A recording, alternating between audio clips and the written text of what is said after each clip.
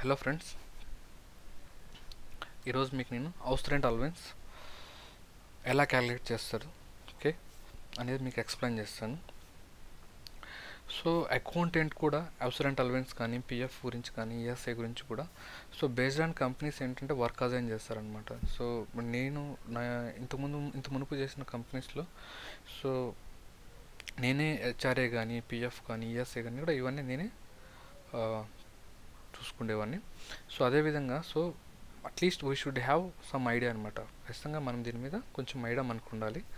So అందు గురించనే మీకు ఈ వీడియోస్ నేను పోస్ట్ చేస్తున్నాను. సో ట్యాక్స్ రిలేటెడ్ కూడా. Okay house rent allowance HRA paid by employee to their employees this is a part of employee salary జనరల్గా HRA ఏంటంటే part of employee salary అనమాట okay మీకు పే స్లిప్ కూడా explain చేస్తాను. Pay స్లిప్తో పాటు okay చూడండి పే స్లిప్ ఇది ఎక్స్ప్లెయిన్ చేస్తాను step by step HRA will calculate based on salary if employee residence in metro city then HRA will be fifty percent so in case metro సిటీస్లో కానీ employee residence అంటే అక్కడ work చేసి అక్కడ రెసిడెన్స్లో ఉన్నట్లయితే so ఆ కేసులో ఏంటంటే fifty percent okay in case of Delhi so Mumbai ఇవన్నీ కూడా మెట్రో సిటీస్ అనమాట సో వాటిలో కన్నా రెసిడెన్స్ ఉన్నట్లయితే fifty percent HRA of his basic salary on HR will be calculate fifty percent of his basic salary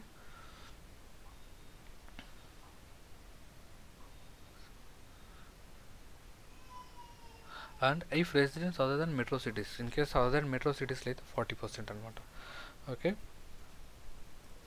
the least of the following options okay HRA calculation అంటే చూడండి ఇక్కడ HRA calculation so employee Peter sons department employee number and account details and all చూడండి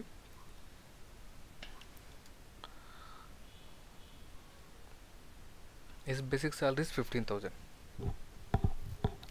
on his basic house rent allowance will be calculated అనమాట HRA జనరల్గా company ఇచ్చే house rent allowance ఇది. Okay?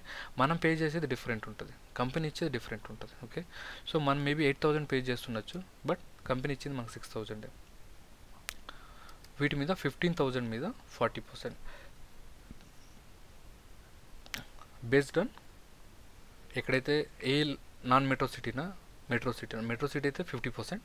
ఇక్కడ non metro city కాబట్టి forty percent అనమాట so ఆ విధంగా the actual HR received from employer అంటే ఇది కంపెనీ నుంచి రిసీవ్ చేసుకున్నది. And actual rent paid less ten percent of basic salary okay? Actual rent ఎంత పే చేసాడు employee? Minus ten percent of basic salary basic salary ఎంత ఉంది fifteen thousand. Okay? So and 40% of basic salary in case of an employee is lives in non metro city. So ఈ మూడిట్లో least of the following అనమాట okay? ఈ three ఆప్షన్స్లో ఏది list? చూద్దాం.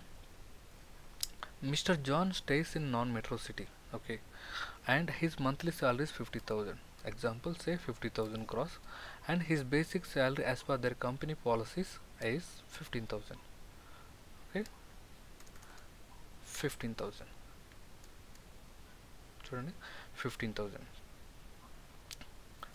ఇదనమాట fifteen thousand okay and the the actual HR received from employer six thousand చూడండి దీని ప్రకారం సిక్స్ థౌజండ్ రిసీవ్ చేసుకున్నా.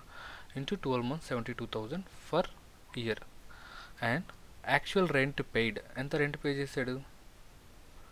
ఎయిట్ థౌజండ్ పే చేస్తున్నాడు. Okay yearly eight thousand into twelve nine thousand six hundred minus ten percentage on basic okay total basic salary ఎంత? Fifteen thousand into twelve months. So one lakh eighty thousand. Okay?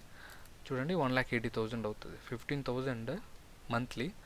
అలా basic twelve మంత్స్కి fifteen thousand into twelve months one lakh eighty thousand. Okay? On on the ten percent అనమాట okay? ఇక్కడ చూడండి less ten percent of basic salary okay? Ten percent less చేయాలి. ఆ ten percent ఎంత? One lakh eighty మీద? Eighteen thousand. Ninety six thousand minus eighteen thousand seventy eight thousand. Okay next forty percent of basic salary in case of an employee staying in non metro city that is on seventy two thousand okay so fifteen thousand మీద forty percent అంటే forty percent on basic salary okay into twelve months six thousand same ఇదే వస్తుంది. Six thousand into twelve months so least ఈ లీస్ట్లో ఈ యొక్క three ఆప్షన్స్లో ఏది లీస్ట్ ఉంది? Okay seventy two thousand least కాబట్టి HRA exemption under section ten thirteen A ప్రకారం seventy two thousand exemption so ఈ విధంగా కంపెనీ ఎంత మనకి ఇచ్చింది HRA part of salary breakup salary బ్రేకప్స్లో మనకి ఇచ్చిన హెచ్ఆర్ఏ ఎంత? మనం ఎంత పే చేసాం? ఓకే ఎక్కడ ఎంప్లాయ్ రెసిడెన్స్ అంటే ఎక్కడ ఉంటున్నాడు. అంటే మెట్రో సిటీస్లో ఉన్నాడా? నాట్ మెట్రో సిటీనా నాన్ మెట్రో సిటీ అయితే బేసిక్ ఎక్కువ ఉంటుంది. సో అదర్ దెన్ మెట్రో అంటే సో మెట్రో కాకుండా అయితే ఫార్టీ పర్సెంట్ ఉంటుంది. సో దాన్ని పేజ్ చేసుకొని లిస్ట్ ఆఫ్ ది ఫాలోయింగ్ అని ఇది ఇంపార్టెంట్ అనమాట హెచ్ఆర్ఏ క్యాల్కులేషన్కి ఇది important okay and ఎగ్జా HR exemption seventy two thousand if an employee paying rent more than one lakh for example employee more than one lakh pay చేస్తున్నట్లయితే rent for year he should provide landlord's PAN number అంటే owner PAN number డెఫినెట్గా company వాళ్ళకి provide చేయాలి. So the landlord should provide a self declaration if he does not have PAN number అంటే in case PAN number అతనికి లేకపోయినట్లయితే ఆ యొక్క owner వచ్చేసి సెల్ఫ్ డిక్లరేషన్ ఇవ్వాలి. తనకి పాన్ నెంబర్ లేనట్లు ఒక డిక్లరేషన్ సబ్మిట్ చేయాలి. ఓకే ఇది ఇది మ్యాండేటరీ అనమాట ఆల్ కార్పొరేట్ సో అన్ని కంపెనీస్లో కూడా ట్యాక్స్బుల్ ఎంప్లాయీస్కి ఎవరైతే హెచ్ఆర్ఏ ఎగ్జామ్షన్ తీసుకుంటున్నారో సో వాళ్ళు డెఫినెట్గా HRA exemption first declaration so tax declaration submit చేస్తారు. Initial starting of the financial year for example మన financial year April to March కాబట్టి సో ఏప్రిల్లో ఎంప్లాయీ జాయిన్ అయితే సో బిఫోర్ మే లోపు కానీ ఆ సేమ్ మంత్లో కానీ ఒక డిక్లరేషన్ సబ్మిట్ చేయాలి. అంటే నీ సేవింగ్స్ ఎంత ఉన్నాయి? సో ఏటీసీ కింద అంటే ఏటీసీ కింద నీ ఎల్ఐసి కానీ తర్వాత హెచ్ఆర్ఏ కానీ హౌసింగ్ లోన్ కానీ ఇవన్నీ ఎన్ని ఉన్నాయి. సో దాంతోపాటు హెచ్ఆర్ఏ మంత్లీ నువ్వు ఎంత పే చేస్తున్న దాన్ని బట్టి నువ్వు సబ్మిట్ చేయాలి. దాన్ని బేస్ చేసుకుని ఎవ్రీ మంత్ నీకు ట్యాక్స్ అన్నది ఎంప్లాయీకి డిడక్ట్ అవుతుంది అనమాట సేవింగ్స్ పోను రిమైనింగ్ మీద. సో స్లాబ్స్ ప్రకారం ట్యాక్స్ డిడక్ట్ చేస్తారు. ఇన్కమ్ ట్యాక్స్ స్లాబ్స్ ప్రకారం. సో ఇక్కడ ఎంప్లాయీకి ఎవరైతే రెంట్ పే చేస్తున్నారో ఈ ఎంప్లాయీ ఏంటంటే జాన్ నుంచి డిసెంబర్ టు జాన్ మంత్లో ఈ బిట్వీన్ సో ఆ ప్రూఫ్స్ అనేది సబ్మిట్ చేయాలన్నమాట. ఓకే?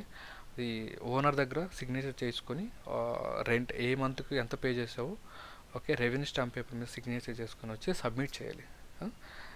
డిపార్ట్మెంట్కి కంపెనీలో ఉన్న స్పెసిఫిక్ డిపార్ట్మెంట్కి ఓకే? ఆ విధంగా దీన్ని ఎగ్జామ్షన్కి అలౌ చేస్తారనమాట సో ఇది ఏంటంటే నార్మల్ ఎంప్లాయీస్ కూడా సో దీని గురించి అవేర్నెస్ ఉండాలి.